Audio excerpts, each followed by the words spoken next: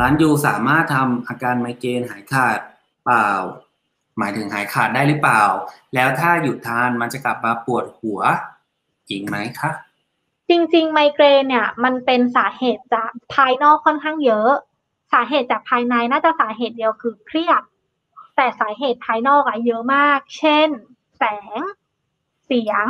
ความร้อน อันนี้ถือเป็นสาเหตุภายนอกทั้งหมด ฉะนั้นการทาน BLU ค่ะ สามารถรักษาอาการไมเกรนได้ไหม จริงๆ ให้ตอบเลยก็คือใช้คำว่าไม่ได้